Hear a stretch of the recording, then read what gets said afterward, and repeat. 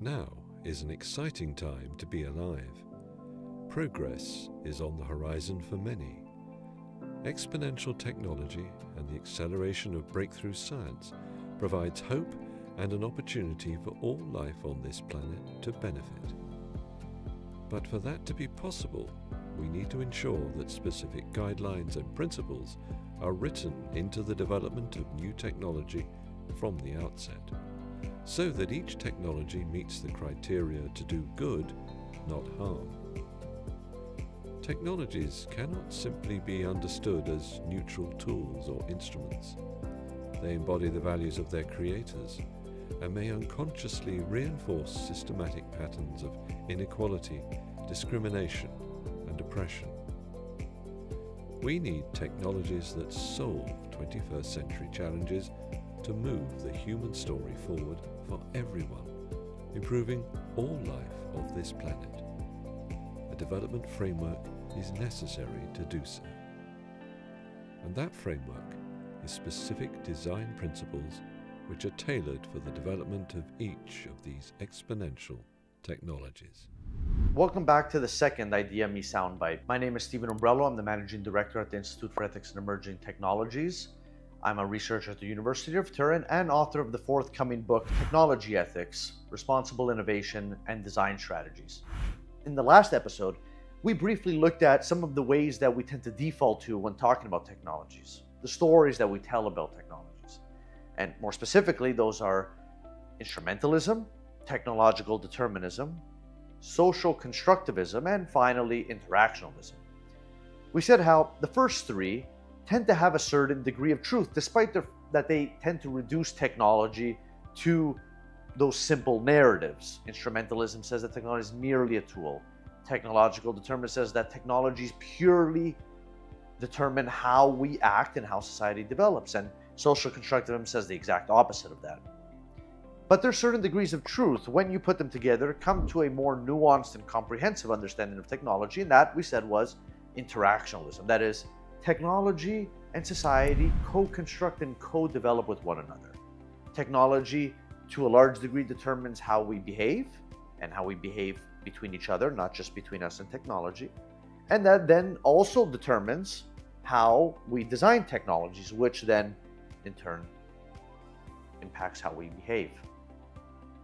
This interactional stance, if we take this as the starting point, means that we can interact and therefore direct to a certain degree how we design technologies and how those technologies then impact our lives. For this reason, we need to look at design itself. And there are various design strategies that have emerged, but among all these various design strategies, one has taken particular attention in academia and industry, and that's value sensitive design. And as its name suggests, it takes values as its core facet. That is, what people and groups of people find important in their lives, particularly moral values.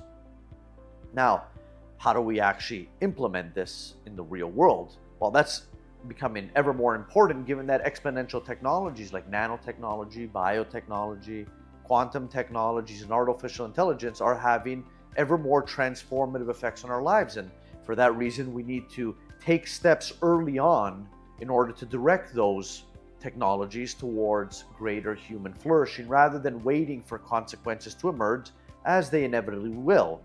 And adopting a design strategy like value sensitive design allows us to at least anticipate some of those unforeseen impacts, as well as leave open potential responses to future generations. Value sensitive design says that we need to do conceptual investigations. Ask questions like who are the people impacted, the stakeholders? What are their values? Are there any indirect stakeholders, like animals or the environment, that may be impacted by these technologies? How will these technologies impact future generations? Will are we going to try to increase our responsibility for being responsible for others or are we going to abdicate our responsibility to future generations to clean up our mess? It also does empirical investigations. It doesn't just ask these conceptual ones. It actually goes out and tries to find those stakeholders, bring them directly into the design space, allow them to participate, try to extract what their values are at least what they say they are, And then we try to actually see what these stakeholders do to see whether their behaviors correspond with what they say that they find important. And not just that, we go on to actual technical investigations. How does the architecture of the system under question, the one we're looking to build, support or constrain those values that we find to be important? This iterative tripartite methodology has proven in the academic literature and in industry to be a great starting point for thinking about how technologies interact with society and therefore how we can interact with those technologies to guide society towards more beneficial ends.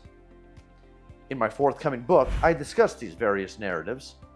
I bring up how value sensitive design is perhaps the best way to achieve responsible innovation, that is, try to increase human flourishing across multiple generations. Then I actually give a step by step guide to how engineers and policymakers can co construct the technology and policy together in order to achieve greater human flourishing over time. In the next episode of the Idea Me and in the final episode, we're going to discuss the application of values in design to a transformative technology, one that has garnered a lot of popular attention, and that's artificial intelligence. After the third episode of the Idea Me Soundbite, we're going to have an expert interview in which a longer form interview with myself in which we'll discuss these in greater depth.